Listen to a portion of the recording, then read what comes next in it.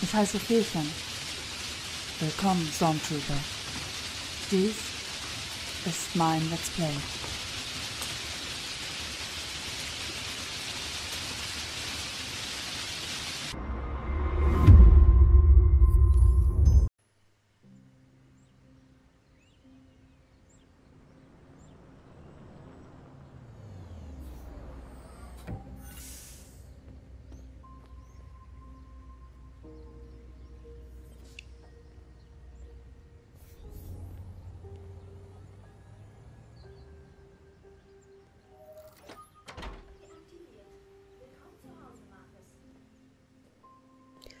Willkommen zurück, Stormtrooper. Ja, wir sind mit Marcus zu Hause angekommen.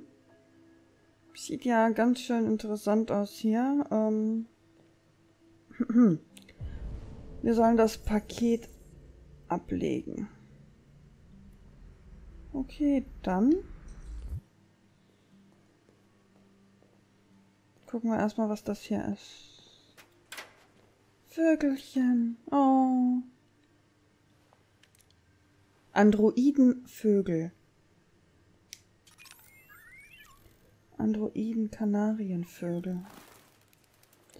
Very interesting. Am Auge schaltet man sie ein. Sehen schon echt aus. Ich meine, okay, allgemein, die, die, die Grafik, ich kann es nur immer wieder betonen. Die Grafik ist Einfach der Hammer. Einfach Hammer. So. So, was sollen wir als nächstes tun? Kümmere dich um Karl.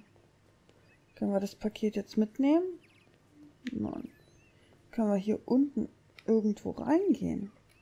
Wir können ja wieder mit R1 hier die Kameraansicht wechseln.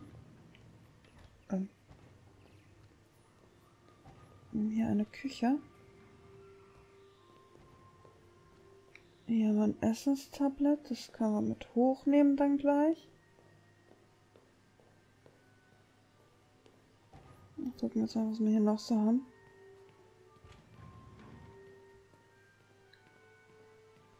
Und ob wir hier sonst noch was machen können. Das Bild ist hübsch.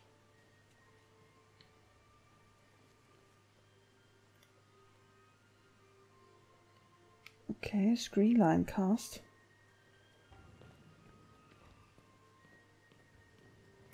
L1, wir können hier was gucken.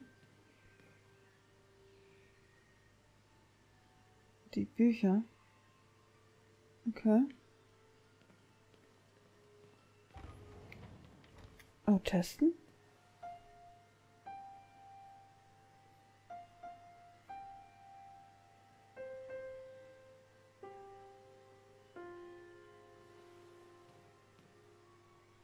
So schlecht ist er gar nicht. Eine Giraffe. Hat die Giraffe irgendeine Bedeutung? Weil bei Kara. Bei Kara war auch.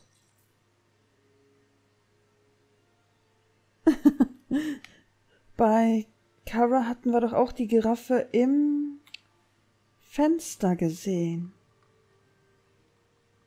Jetzt bin ich mal gespannt, ob das vielleicht etwas bedeuten mag, ob wir das wiedersehen. Hier kann man anscheinend nicht hochgehen.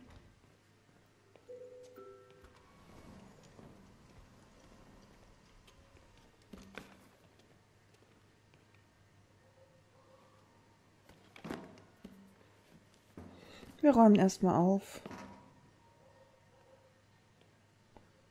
Ist das eine Glasbude?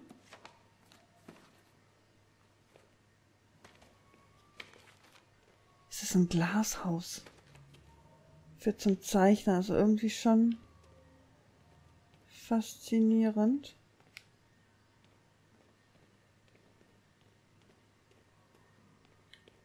Hier kann man auch noch aufräumen.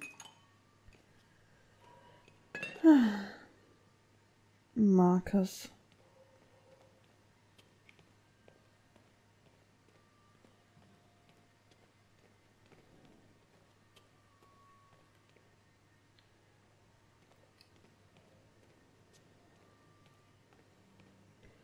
Ich glaube, wir haben jetzt im Atelier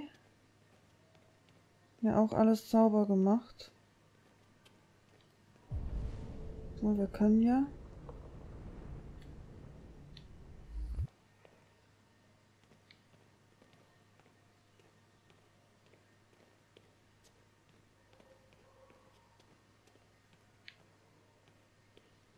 Okay. Dann würde ich sagen, wir holen uns aus der Küche das Tablett ab. Die Bilder sind gut. Mir gefallen die echt gut.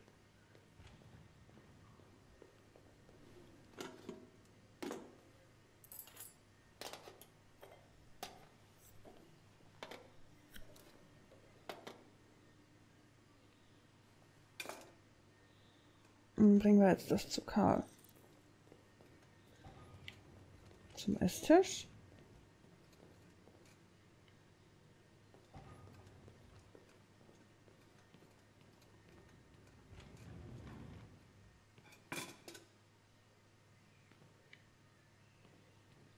Okay, vielleicht ist es doch endlich Zeit, Carl zu wecken.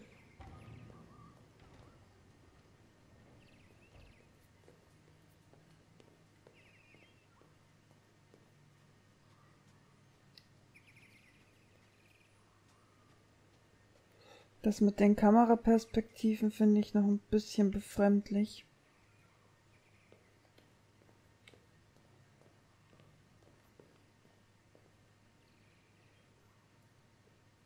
Antilopen oder was sind das? Antilopen, denke ich jetzt mal.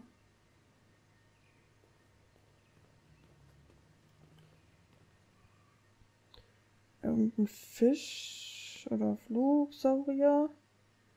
Fisch.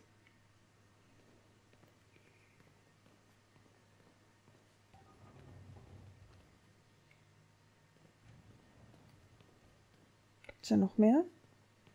Oder nur den einen Raum?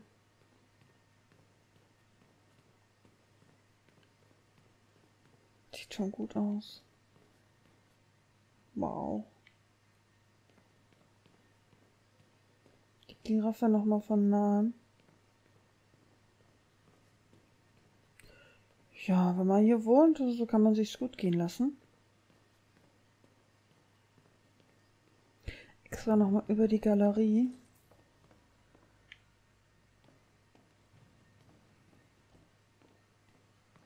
Dann ziehen wir mal die Vorhänge auf.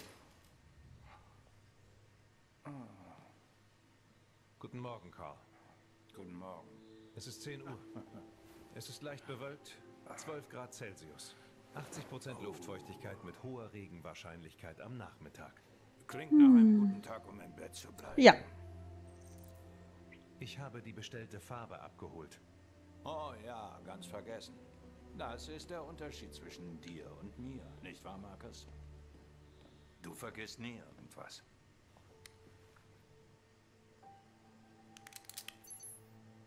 Zeigen Sie mir Ihren Arm bitte, Karl.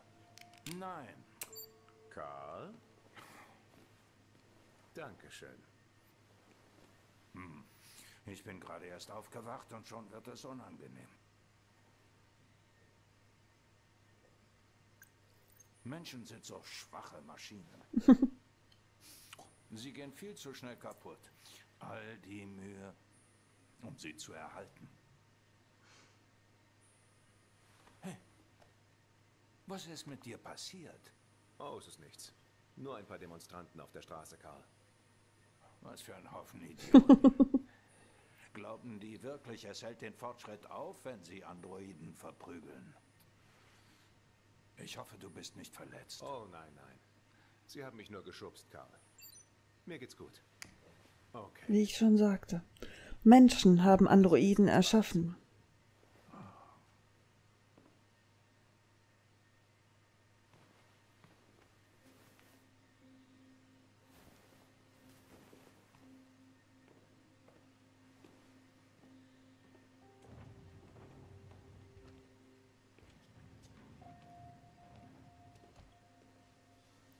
Es ist schon traurig, von jemandem so abhängig zu sein.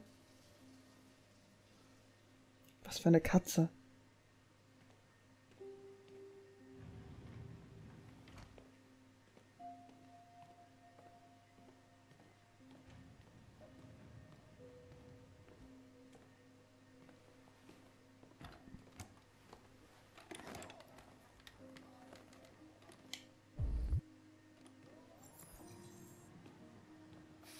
Liegt heute eigentlich irgendwas Besonderes an?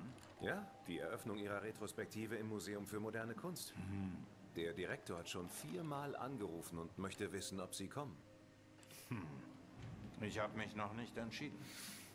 Das werden wir dann später sehen. Okay. Was noch? Nur die übliche Fanpost. Ist schon beantwortet.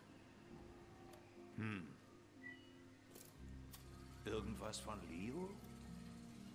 Leo? Nein, Karl. Soll ich ihn für Sie anrufen? Nein. Nein, lass gut sein.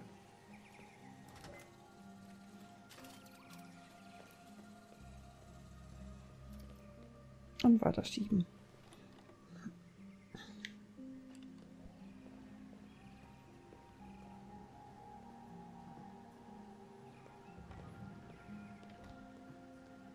Ich hab Hunger. Ihr Frühstück ist fertig. Speck und Eier, so wie Sie sie mögen. Danke, Marcus. Gern geschehen.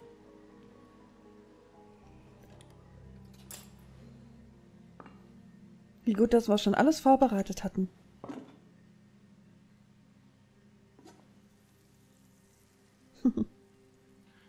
Fernseher.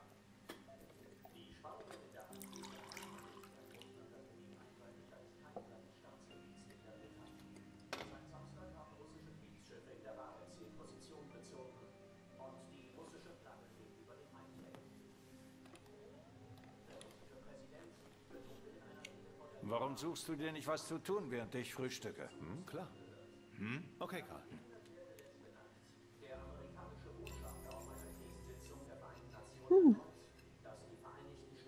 Sucht hier eine Beschäftigung. Na dann.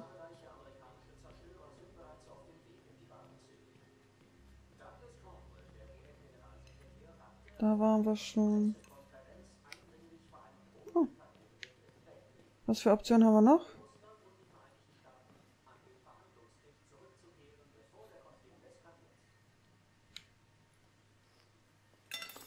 Fernseher aus.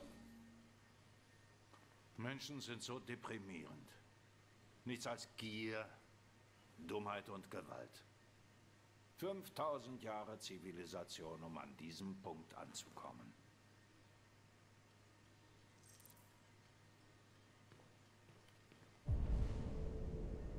Ist noch was hier? Schach spielen?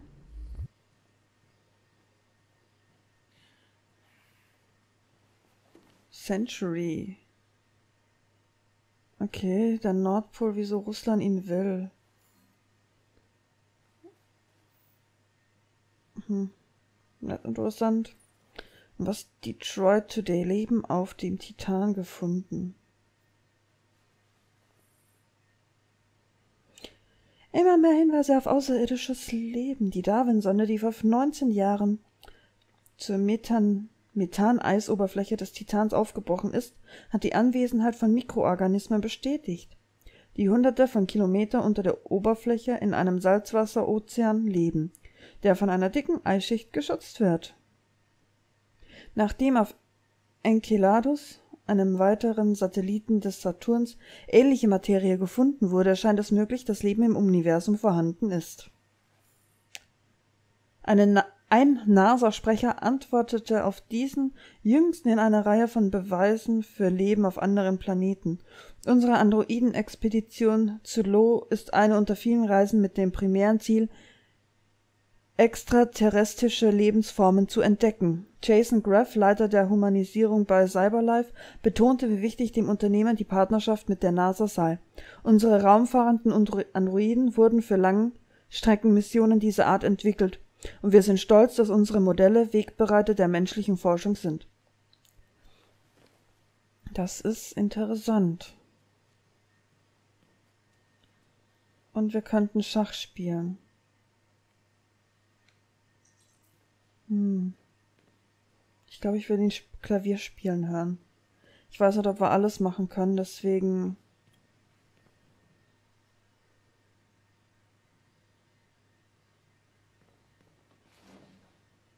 Ich glaube, wir dürfen nur eins von den dreien machen.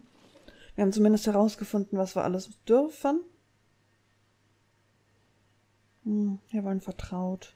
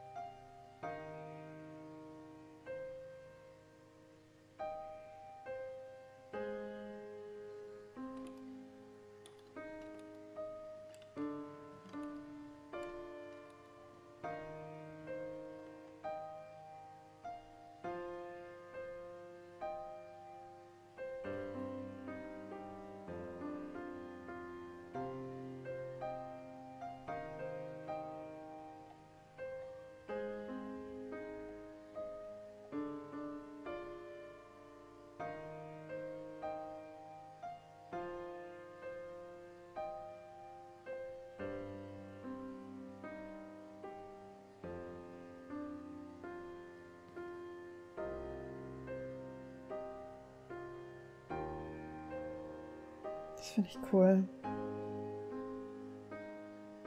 Wenn wir aufhören zu tippen, hört auch auf zu spielen.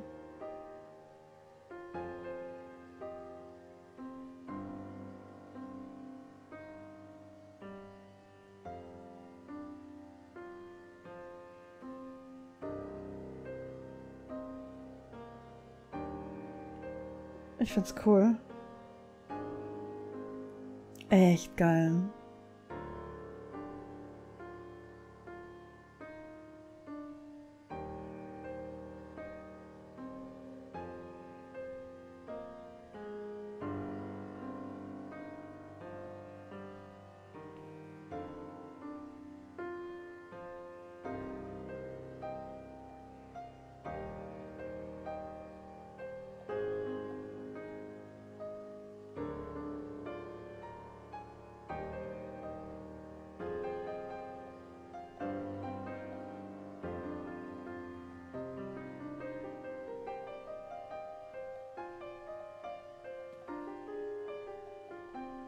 Okay, schneller geht's auch.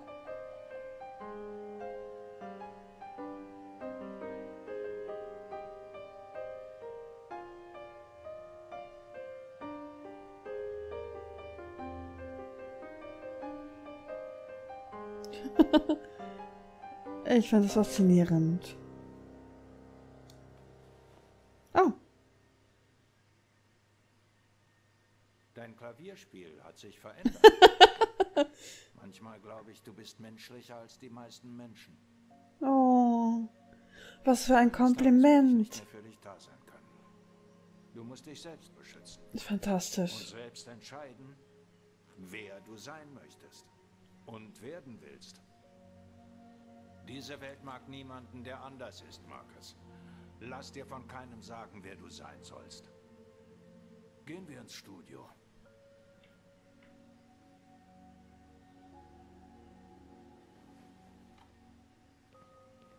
Er fordert ihn darauf auf und will ihm sagen, sei du selbst, sei menschlicher und überleg dir, was du später werden willst, falls ich mal nicht mehr da sein sollte.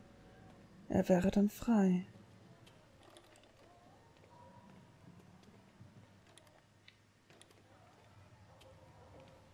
Ah, hier, wie soll ich den da hinbringen? Willst du da malen? Nein, auch nicht. Wo will er denn hin?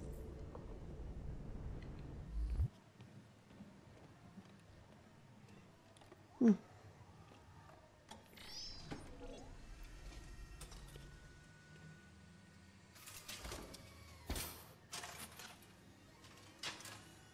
Was? Wo waren wir stehen geblieben? Zieh das Laken weg. Nee! Wie geil! Wow.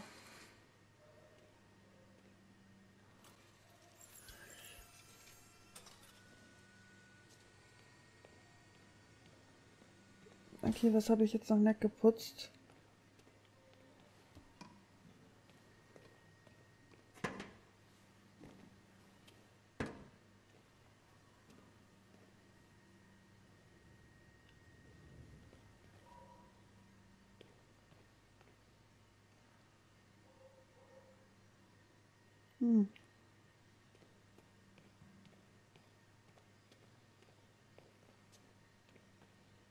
Na komm.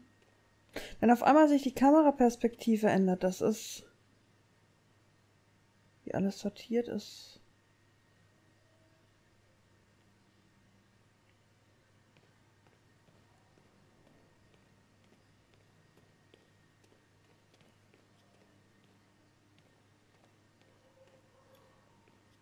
Skizzen. Die sehen eigentlich. Äh, ja, ich wollte sagen, nicht schlecht aus, aber das wäre gelogen, denn im Prinzip man erkennt nicht wirklich, was es ist. Obwohl die einfachen Farbverläufe relativ gut aussehen.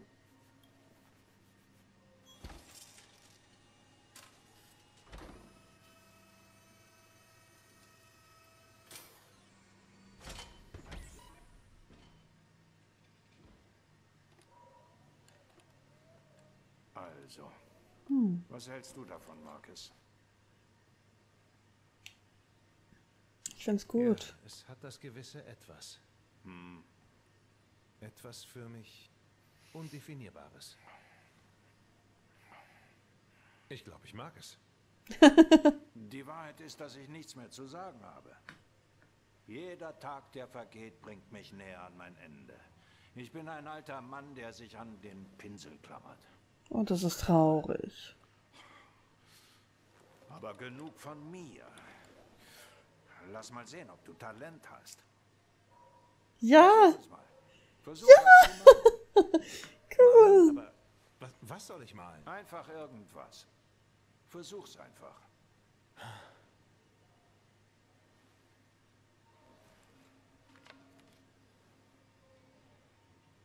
Tu es.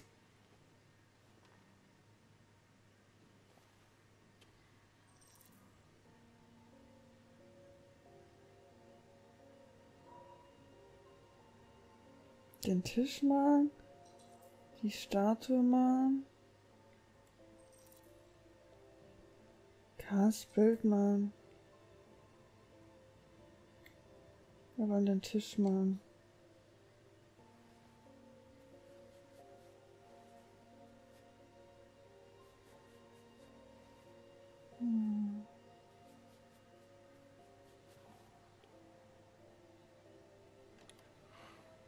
Wow. Eine perfekte Kopie der Realität. Doch beim Malen geht es nicht um das Kopieren der Welt, es geht um Interpretation, Verbesserungen, deine eigenen Sichtweisen. Karl, ich glaube, das kann ich nicht. Das steht nicht in meinem Programm. Na los, mach schon, geh an die Leinwand.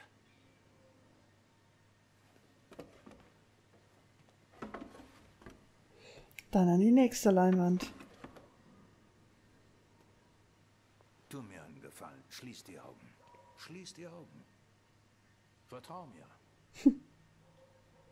Okay, wir schließen die Augen. Stell dir etwas vor, das nicht existiert. Etwas Unbekanntes. Jetzt konzentrier dich auf das, was du jetzt fühlst. Und führe deine Hand unbefangen über die Leinwand.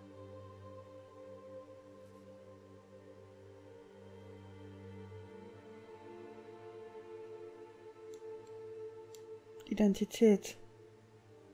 Androiden.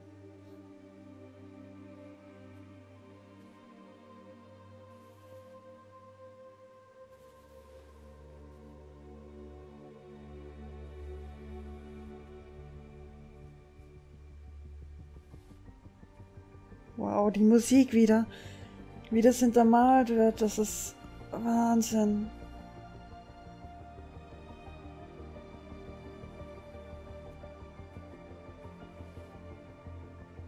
Ich bin jetzt so gespannt, was er malt. Oh, und da gibt's für jede mögliche Kombination ein eigenes Bild.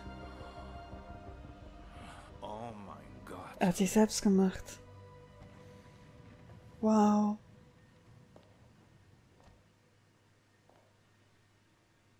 Hey Dad, Leo. Dich nicht kommen hören. ah, ich war in der Gegend. Dachte ich schau mal rein. Wurde doch Zeit, nicht? Das gibt Ärger. Geht es dir gut? Du siehst nicht so aus. Oh ja, ja, alles klar. Hör mal, äh, ich brauch Kohle, Dad. Schon wieder? Was ist denn mit dem Geld von neulich passiert? Naja, es ist halt weg, weißt du? Ja.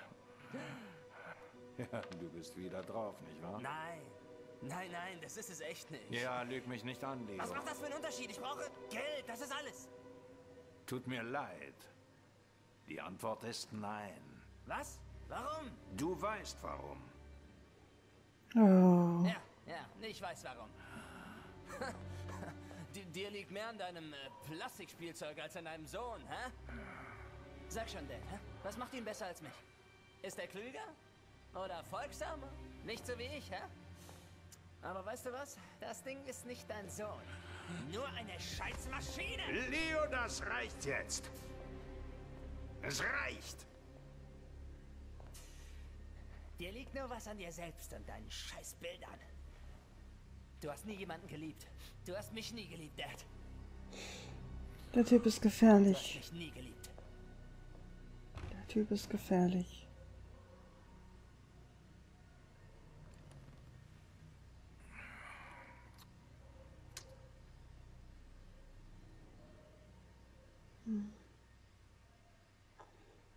Ja, das ist schade für ihn.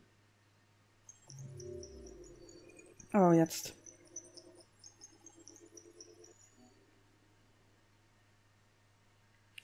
Oh, ja, jetzt, jetzt, jetzt geht's ans Gucken.